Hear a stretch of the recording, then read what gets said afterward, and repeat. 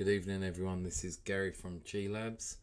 Here is my analysis for Thursday, the 13th of October 2022. First off, we're going to look at AUD CAD on the H4. So, this a W formation and divergence on the H4, and it seemed to be headed to the 50 EMA zone. So, we are bullish for the moment. So we see a W formation with divergence and we seem to be headed up towards the 50 EMA here. So now we're going to take a look at the H1.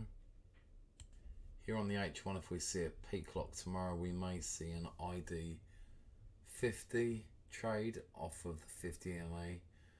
Um, so it's likely to go bullish to the 200 EMA from this point here. Next up, we're going to take a look at Euro Pound on the H1. Here we have Euro Pound on the H1. A third drop is expected here, and I need it to be make contact with the 50 200 EMA before the sell move. So we want price to pull back up towards the 50 and 200 EMA here before continuing its move to the downside. Um, Next up, we're going to take an in-depth look at Euro New Zealand dollar on the H4.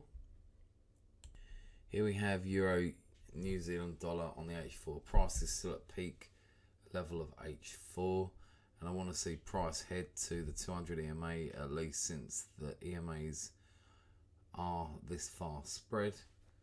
So I'd like to see price come down to at least here. Um, let's take a look on the H1 now and see how that looks.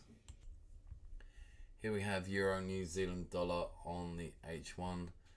Um, an ID50 setup is expected to occur to complete the levels. So I expect price to push up towards a 50 EMA and then continue to the downside. Forgive me for yawning.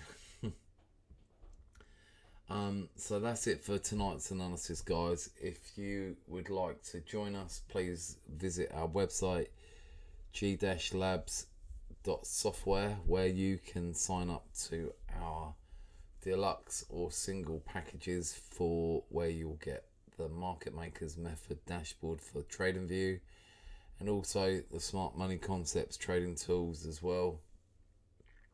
My throat is so sore.